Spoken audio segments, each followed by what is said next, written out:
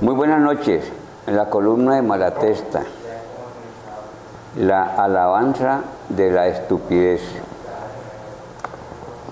La estupidez es tan seria y común como ridícula, que casos como el que critica por protagonismo y estar in para hacerse el importante, hay que verla con un tono burlesco e irónico, pero a la vez con una crudeza sagaz e hiriente.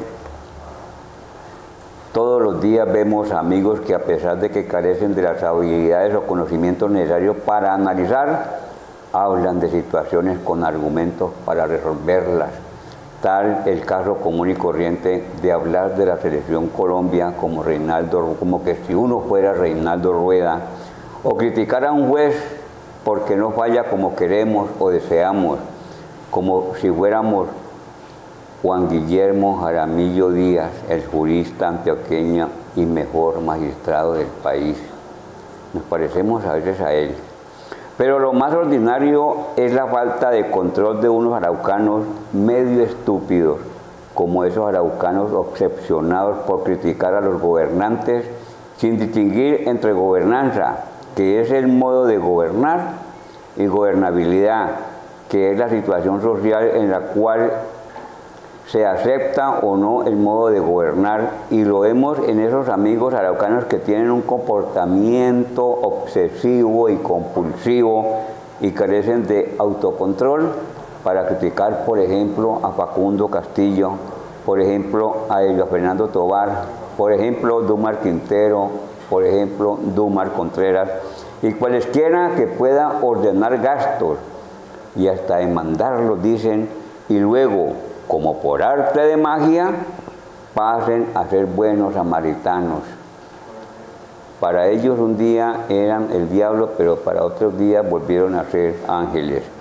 Esa es la mayor estupidez de nosotros los araucanos, unos con más estupidez que otros.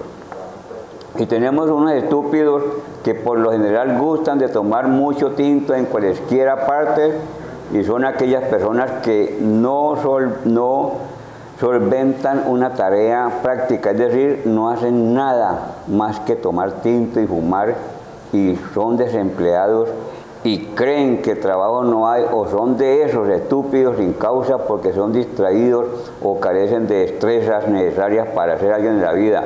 Bueno, son estúpidos por distracción.